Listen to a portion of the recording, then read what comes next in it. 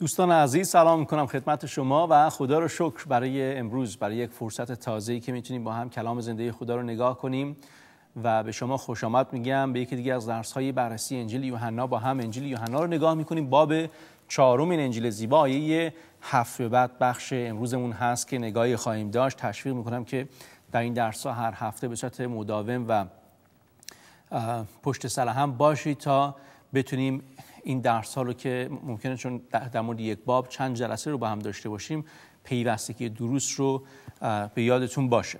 باب, هف... باب چهارم انجیل یوحنا رو نگاه می‌کنیم از آیه هفت به بعد وقتی که عیسی مسیح از طریق سامره به طرف جلیل در حال روانه شدن بود در مسیر راه ساعت دوازده ظهر تشنه میشه و با یک زن سامری برخورد می‌کنه و داستان به این قراره که در آنجا چای یعقوب بود پس عیسی از سفر خسته شده همچنین بر سر چاه نشسته بود و قریب به ساعت ششم بود یعنی طرف های ساعت دوازده ظهر که زنی سامری به جهت آب کشیدن آمد. عیسی به دو گفت ای آب به من بنوشان. زیرا شاگردانش به جهت خرید خوراک خریدن خوراک به شهر رفته بودند.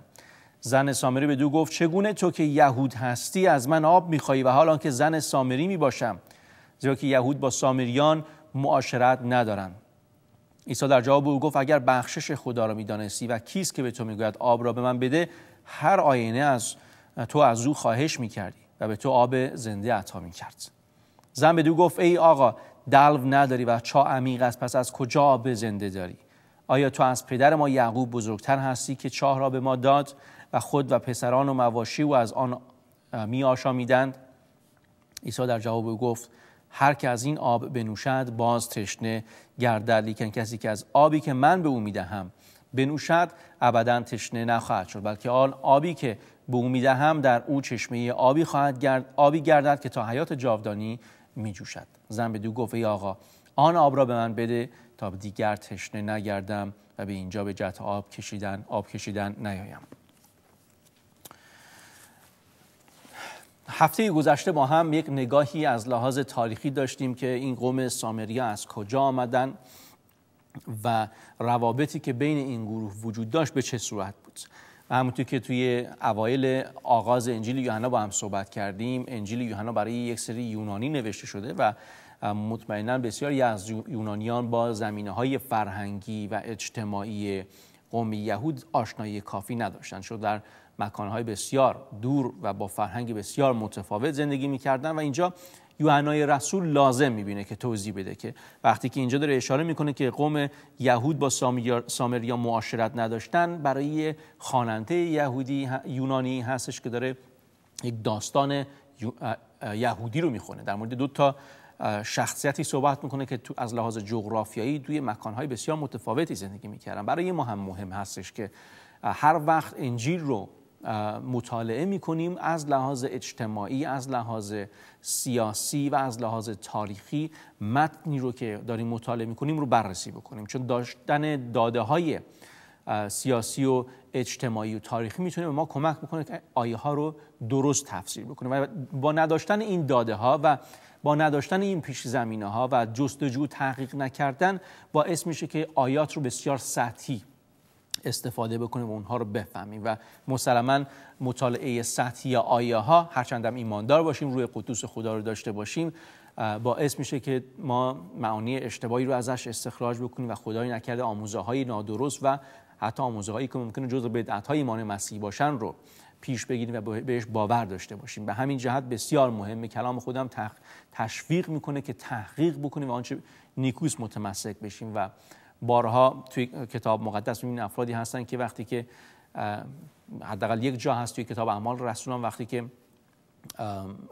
پولس اپولوس دارن موعظه می‌کنن مردم اهل بیریه بیریه می‌بینیم که کلام رو جستجو می‌کنن و تفتیش می‌کنن که صحبت های این واعظین رو ببینن مطابق کلام زنده خدا است یا نه و کتاب مقدس این افراد افراد شریفی مینامه و چقدر مهمه که ما از این لحاظ اهمیت خاصی به تفسیر کلام زنده خدا بدیم. کلام خدا یک تفسیر یک معنا بیشتر نداره. ممکنه کاربردهای متفاوتی برای زندگی شخصی خودمون داشته باشه ولی مهمه که بفهمیم کلام خدا چه حقیقتی برای ما بیان می‌کنه. بنابراین اینجا عیسی مسیح این زن رو بهش میگه که به من جوره آب بنوشان. داره این مکالمه رو آغاز می‌کنه تا به یک حقیقتی برسه و این زن میگه که شد تو اولا تو کی هستی؟ تو یک یهودی هستی؟ با من چرا به این صورت صحبت می‌کنیم ما که با هم ارتباط نداریم. شما یهودی ما خیلی ما رو تحت فشار می‌گذارید. ما رو از طبقه بسیار پست جامعه می‌دونی و تو از من یک یک سامری داری سوال می‌کنی که به تو آب بدم. نه تنها من یک سامری هستم یک زن هستم. جایگاه زن هم توی فرهنگ یهود جایگاه بسیار بالایی نبود. و زنها مردان با زنان در یک خیابون توی ملع عام به صورت مشخص یا واضح و آشکار و جلوی همه صحبت نمی‌کردن جایگاه زن بسیار پایین بود متاسفانه در اون زمان. و برای این زن بسیار عجیبه که عیسی مسیح یک یهودی با او که یک سامریه نه تنها یک سامری بلکه یک زن هست داره صحبت می‌کنه و حتی ازش آب می‌خواد. و می‌بینیم که میگه که اجازه بدین قسمت خدمت یک بار دیگه قرائت بکنم. میگه که چگونه تو که یهود هستی از من آب میخوایی و حالا که زن سامری می‌باشم؟ عیسی در جواب او گفت اگر بخشش خدا رو می‌دانستی و کیست که به تو می‌گوید آب به من بده هر آینه تو از او خواهش می‌کردی و به تو آب زنده تو به تو آب زنده عطا کند. بعد مثل اینکه این زن سامری متوجه صحبت های عیسی مسیح نمیشه چون عیسی مسیح داره به یک جورایی حقایق الهیاتی رو داره توی این مکالمه خودش می‌خواد به این زن سامری بده که من اون منشأ نجات هستم من اون منشأ حیات هستم من اون شخصی هستم که تو باید ازش بنوشی من اون شخصی هستم که باید به دنبالش بیای من اون مسیح مود هستم. ولی زن متوجه صحبت های عیسی مسیح نمیشه. عیسی مسیح هم وقت رو تلف نمی‌کنه و سریع به زن میگه که برو و شوهر خودت رو بخون تا بیاد اینجا. اجازه بدین قسمت رو هم خدمتتون قرائت بکنم که آشنا باشید.